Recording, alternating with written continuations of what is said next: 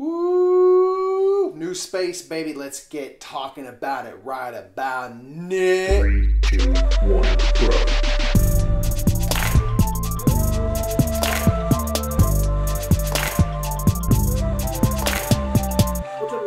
is Michael Lee Murphy. This is Metagame Minute, but we're in a different room, man. Could you tell? Could you notice? We are here in the Ventura, uh, yet to be unnamed studio, and it's only like half set up. So, what I want to talk about is gaming spaces today.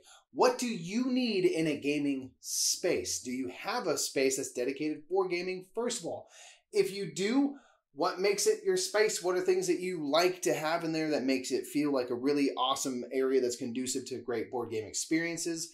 Um, if you don't have a dedicated space, what do you like to do to kind of create your uh, area to play? We have some friends who have a coffee table and they built um, kind of like a little cushy uh, red felted mat that goes on top of it, which gives it a little bit more width, and we play uh, games on there from the couch uh, when we're over there. So that's kind of their own created space. What we've done for us in our studio here, the main thing that we need is space in our space. Uh, and so one way that we have helped create that, if you look right here, you can see that there's these little things. This is actually a closet which we pop the doors off of, and we put our shelves. They fit perfectly into our closet. So all of our shelves, we have a wall here and a wall right there of games, don't actually take up any space from the kind of walk around footprint of the room. We need space in our space to be able to move around and operate. So that's something that we've done for our space. Uh, other things we're going to do is we're going to kind of get some comfort stuff in here. We have over there a TV mounted on the wall, which will help us during our live streams. You can check out twitch.tv slash brothers Murph every Tuesday and Thursday, and also on Gen Con on Mondays, uh, and help us to see what people are saying in the chat and stuff. So we need uh, versatility, flexibility in this area because we're going to be having stuff going on this wall, stuff going on the wall back there, stuff going on the wall right here, stuff going on on the wall over there. So we need to have it able to be able to move our whole rig around. Uh, and the best way to do that is to not have a bunch of stuff taking up square footage of the room itself.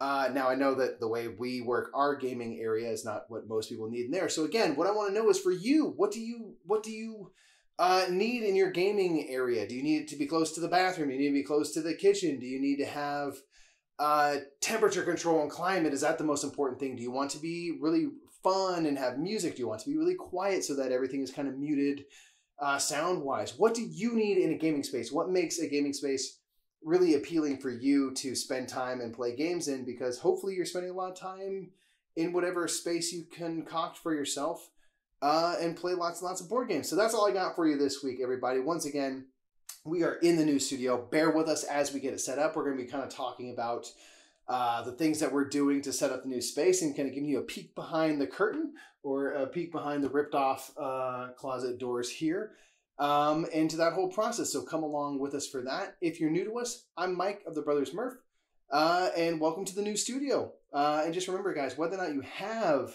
a dedicated room that you can close off and no one goes in there unless they know the secret passcode to play your games, or if you're just playing games on the floor because you haven't fully moved in yet and that's all you got, the more meta, the more better.